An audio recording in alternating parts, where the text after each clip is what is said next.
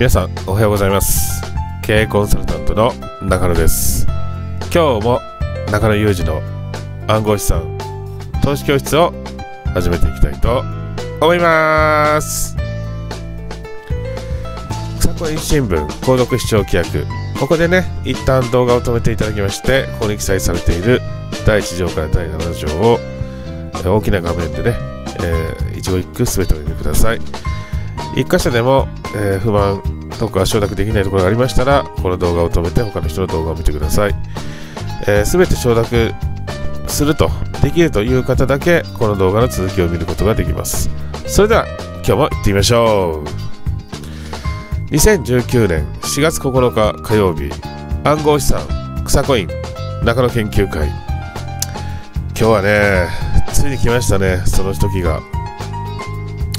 私がですね5年前から言ってきたこと私がですね5年前から言ってきたことえー、あっち系のですねいわゆるイルミイルミ系メイソンリー系ですね。まああの素人の人はフリーメイソンとか呼んじゃってますけどね。いや何なんですかねそれね。あのメイソンリー系ですね。あとはスカルズボーン系ですね。ついに来ました。本日のお題ですね。これ青いとこ読んでください。日本円が新紙幣へと変わりと。これはもう私5年前から知ってました。これは口が裂けても言ってはいけないことでした。旧紙幣の利用が禁止され、預金封鎖が実施される。タンス預金は0円になりますということで、どういうことなのかね、ちょっとニュース見てみましょう。はい。マイナンバー法がね、スタートすることになったんですけど、それはなんでマイナンバー法がね、マイナンバー法をやらなくちゃいけないかったのかっていうものからスタートしてるんですよ。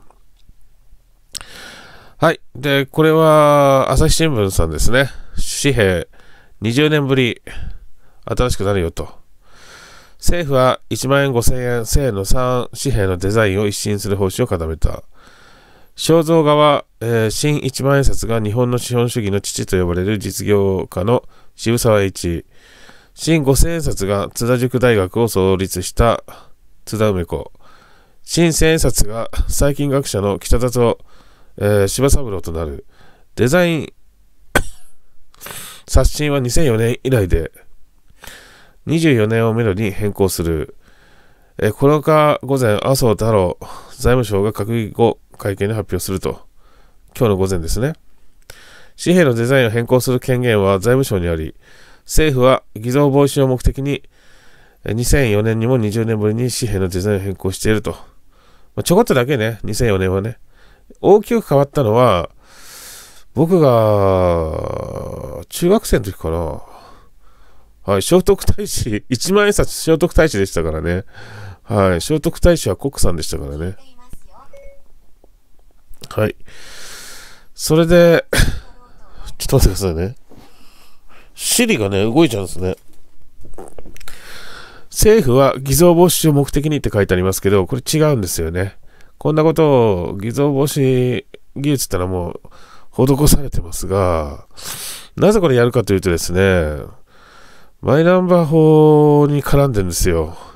それで、この1週間前からですね、仮想通貨が爆上げした理由がわかりました。本当の意味でわかりました。先ほどですね、えー、防音系から入ってきました。こちらとなります。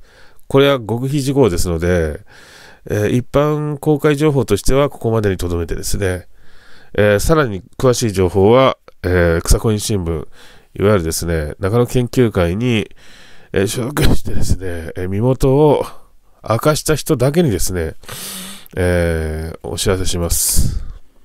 こちらですね。で、これはもう公開情報としてもう皆さんご存知なんですけど、国際通貨基金 IMF っていうとこあるんですね。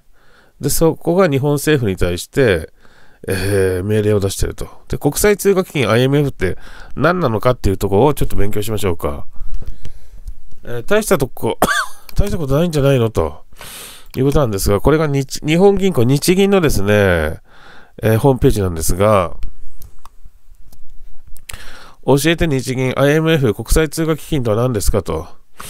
IMF は1944年、昭和17 19年7月にいわゆる、えー、ブレトンウッズ会議で創立、創立、で創立が決定、同会議で調印された、えー、国際通貨基金協定、IMF 協定により1947年、昭和22年3月に業務を開始した国際機関です。2018年、平成30年9月末時点で加盟国は189カ国ですと。で、IMF の主な目的は加盟国の為替政策の監視、サーベランス、ね、為替政策の監視や国際収支が一時期悪化した加盟国に対して融資を実施するなどことなどを通じて1、過去1、国際貿易の促進、過去に加盟国の高水準の雇用と国民所得の増大、過去3、為替の安定などに寄与することとなっています。主な会合には年1回秋に開催される年次総会と呼ばれる世界銀行と合同の総務会、原則年2回開催される国際通貨金融委員会などがあり、日本銀行からも総裁が出席していますということなんですが、ここれはですね、あの、まあ、あの、アジア通貨危機ってありましたよね。2000年代にね。あの時に、まあ、あの、どこだったっけな、インドネシアとかも破綻しましたけれども、その時にお金貸したんですよ。で、韓国も破綻しましたよね。その時もお金貸しました。で、まあ、破綻しそうな国っていうのは世界中もギリシャとかね、お金貸してます、IMF がね。いっぱい貸してるんですけど、身近なとこあるよね。今にも破産しそうなところ。ありますよね。そうです。日本です。日本はね、世界一の借金大国でですね、GDP、GDP 比でですね、なんと、なんとですね、GDP 比でものすごい借金でですね、世界ナンバーワンですよ。今倒産してもおかしくない。で、国際 IMF、国際通貨基金 IMF はね、これもう15年ぐらい前ですよ。だから2005年ぐらい、2004年か。に日本政府に対して言いました。2020年までに消費税を15%まで上げないと、もうあの借金返さなくて潰れますよと。韓国みたいに破産しますよって言われてて、これ日本政府も知ってるし、財務省のホームページにも書いてある。で、に、国債の担保を明らかにせよと。借金むちゃくちゃしてるのに、ね、国債どんどんばらまいてるけど、赤字国債を。その担保は何なんだと。いうことでですね、皆さんご存知の通り、日本の借金の担保は国民の預金ですって言い放ってるよね。だから、じゃあそろそろ担保を出せって言われてるんですよ。IMF に。ね。そんだけ、ずるいじゃないかと。他の国がね、国債も発行せずにね、緊縮財政やってるのに、日本だけね、国債、赤字国債ばらまいて、いい暮らししてると。確かにいい暮らししてますよね、世界水準でね。で、ずるいよということで、そろそろ担保は差し出せと IMF にね、1200兆円ですよ。で、1200兆円はちょうどね、国民の預金、まあ、証券も含まれてるし、土地とか建物も含まれてるかもしれませんが、預金なんですよ。それで IMF は、その国民の国債の担保を明らかにせよということで、いや、日本国民の借金が1200兆円ありますと。だからそれ差し出しますと。預金封鎖をしてね、差し出しますということで、日本政府は2回目ですね。1回目やりました。第二次世界大戦負けてですね、えー、賠償保証金をね、各国に払わなくちゃいけなくて、お金がないから、あの、ある日突然やったんですよね。それ、そりゃそうだよね。1週間後に預金封鎖しますって言ったらみんな下ろしちゃうからね。だからある日突然やりました。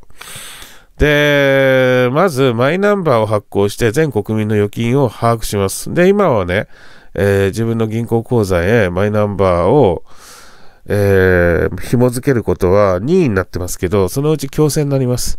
で、自分の預金口座にマイナンバーを紐付け、まあ、銀行にね、申し出てね、紐付けなければ、え、国が没収することになってるんですよね。そういう法律ができます。で、日本の借金の担保は国民の預金だから、これをマイナンバーでですね、紐付けして、一人たくさんいろんな銀行ありますよね。それ全部紐付けして預金いくらなのかと。それで IMF に知らせなくちゃいけないことになってるんですよ。2020年までに。で、マイナンバーが紐付けられていない銀行口座や証券口座は国が没収することになって、すでに没収し始めてるよね。10年以上使われていない銀行口座は国のものになってますよね、今。で、2、新紙幣を発行し、旧紙幣を使用禁止することで、タンス預金を無効化します。なので、皆さん、手元にですね、家の中に1万円札たくさん蓄えられる方いっぱいいると思いますけど、あと金庫の中とかね。あの、今回新紙幣発行出たでしょ？これは私も5年前から知ってました。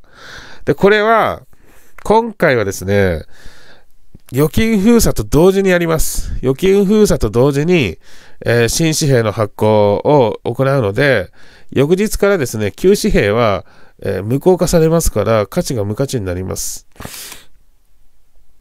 で、じゃあ銀行入れとくのかってなるとね、銀行入れても、日本政府に取られるでしょ。ほんで、タンス預金もゼロ紙くずになっちゃうでしょ。で、どうするかってことなんですよね。で、金に変えてもいいんだけど、今、金買うのにもマイナンバーが必要なんだよね。だから、政府が没収するので、ここですよ。マイナンバーの紐付けが義務化されていない仮想通貨、特に外国口座へ日本円が逃げてるんですね。だから、だからですね、仮想通貨今上がってるんですね。これは一部の中央官庁、財務省、金融庁関係、財務省関係ですね。の官僚からですね、漏れた情報が、えー、いろいろ日本全国回ってですね、えー、よし、じゃあ仮想通貨だと。で、国内の仮想通貨業者に、えー、仮想通貨を保管、保存してると、マイナンバーの紐付けの義務化がされてしまうのでね、来年あたり。あ、もうされてるから。だから、えー、これ外国口座に逃がすことによって分からなくなっちゃうということにもなりかねないですね。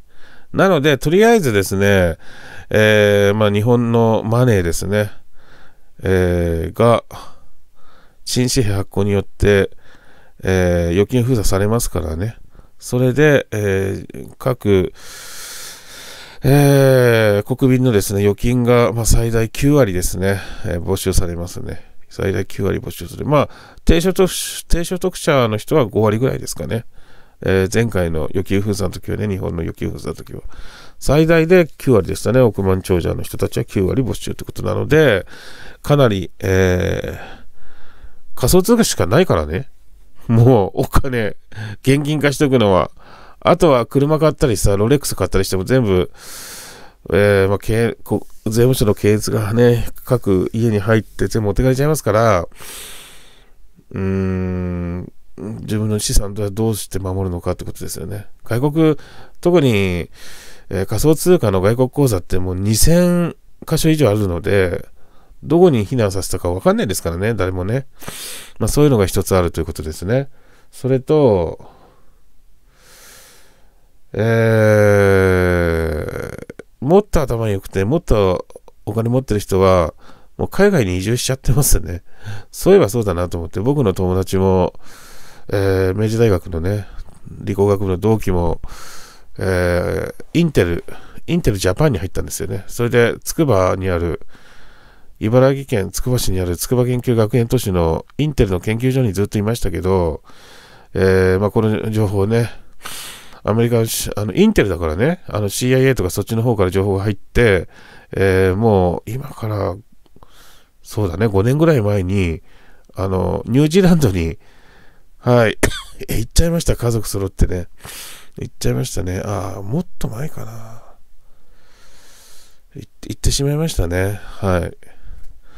それで、どんどんですね、まあ特に頭がいい人は、そして人財産作ってる人はですね、まあ、結局仮想通貨とか FX でお金をたくさん増やしても預金封鎖で全部なくなっちゃいますから、なくなっちゃいますから、どうすんのってことですよね。